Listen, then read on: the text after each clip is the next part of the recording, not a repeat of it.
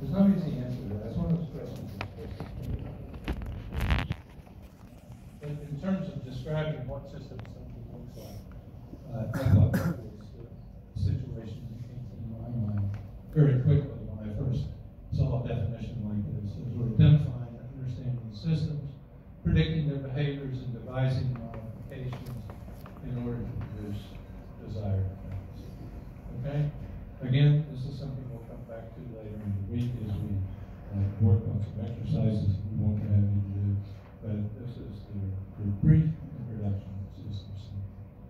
All right. Secondly, second habit, begin with the end in mind. Uh, this points out the obvious that all things are created twice.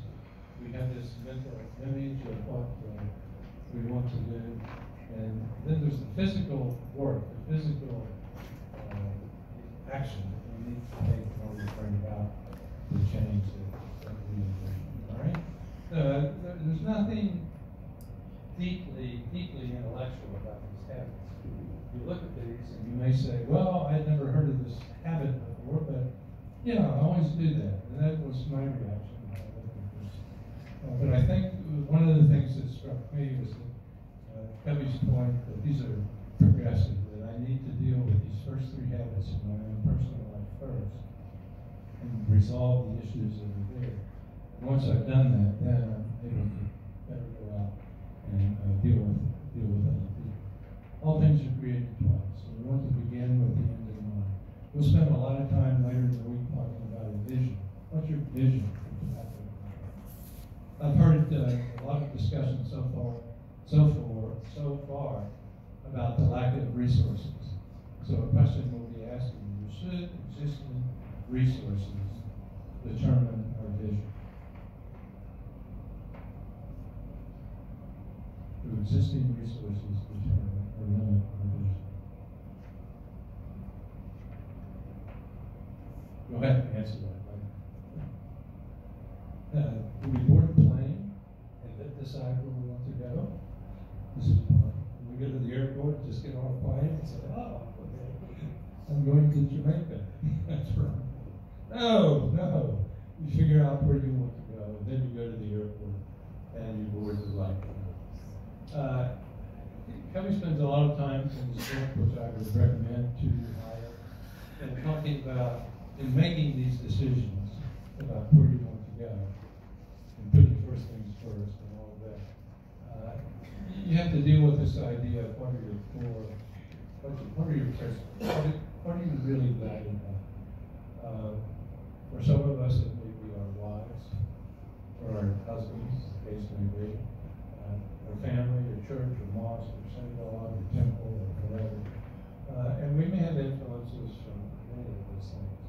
Uh, but sometimes we don't take enough time to decide what our core, really our core values and this is, uh, I think, uh, my reflection on this is this is what I think of when I show this slide. Uh, you want to be a good leader, just be yourself. So the question is, who are you? Who are you? You need to understand that. Uh, and that affects how you behave in relation to, to, So it's important to understand who we are, uh, what influences and what uh, the center of our life, in fact, is. Um, we all know that when we're at work, we say, oh, well, okay, my work's my center. But sometimes you're asked to do things at work. What you do if somebody asks you to do something that compromises your principles? Response, that you have the ability to decide what your response is going to be. But if you say, well, I'm not even sure what my principles are, uh, then you, then you're in, know. Okay, put first things first. Uh, we try to throw in a little poetry from time to time, so this is for good. Uh, this is a nice idea of the things that uh, matter most to us. And should never be at the mercy of things which matter least. So you have this conundrum. You have to know what matters most to you in order to determine what matters least. But first things first. Sometimes that's a difficult thing to do. We'll talk about this a little later.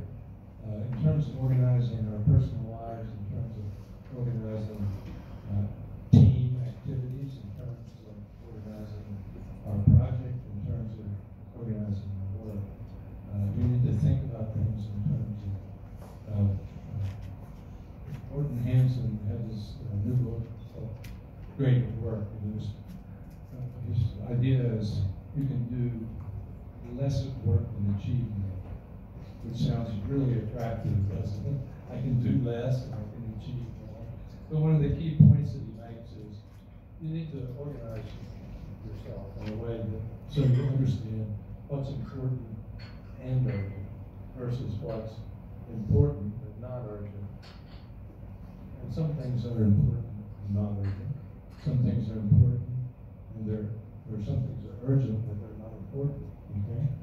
Gets you back into that uh, scheme of uh, coping, management, and, and leadership. Something uh, may not be particularly important, but if your boss tells you it's urgent, it becomes urgent in your life. So his point is that we need to think about our daily lives in this kind of context and be proactive and actually looking uh, where different demands that are made in our time, where they fit this important versus urgent I mean, Again, I, I have kind of faced the problem issue, decision to make, uh, thinking about it in these kinds of terms. It's just a handy tool, leadership tool to use. Okay, back to the tree. We talked about now the first three habits, the roots of the tree. That's the only reason I'm putting this back up here.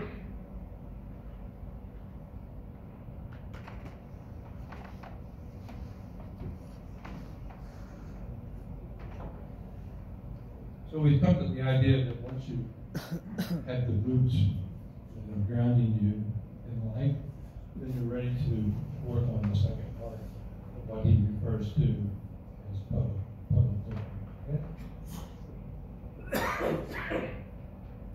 Habit four, think win-win in terms of your dealings with others. All right? Uh, I put this phrase up there. Uh, it's all about relationships. I, I had an interesting lunchtime discussion with all of the media participants. And we talked about how uh, uh, informational sales, the media, the media's perspective on the situation is quite different.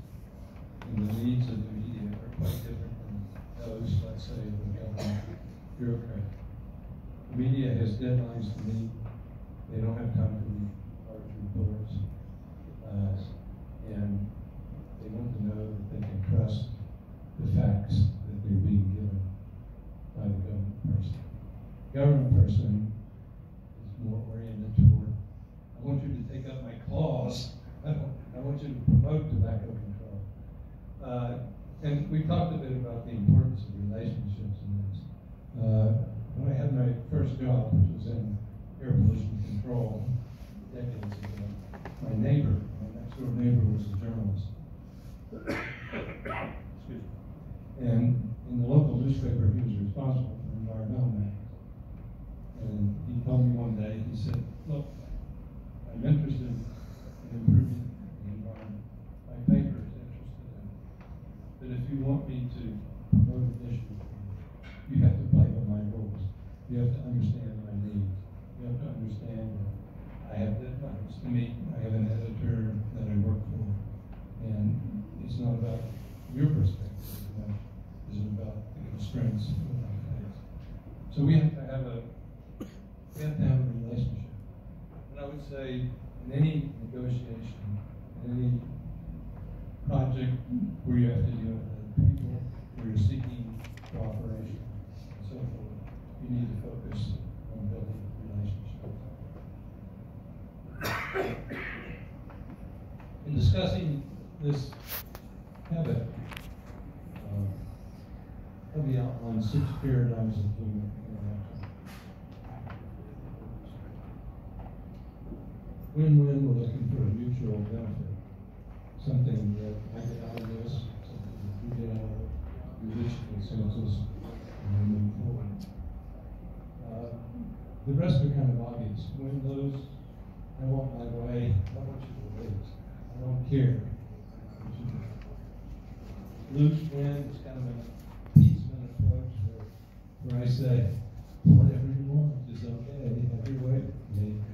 Whatever you want me to do, sir, I'll do it. Uh, lose, lose, meaning, uh, everyone else is willing to compromise anything. So it's gonna be like this all the time. Uh, when, that's kind of everyone himself idea. I don't care what happens to you, I just want to win. right? And you may want to win too. Uh, then he introduces this last one, which I found quite interesting. Win, win, or no deal. You may come to a point where you can agree, disagree, agree to like, we just, we can't agree on this. Um, so you have to walk away. We don't like to think about that possibility. Think we need to understand that it is, it is one of the options. The other idea that he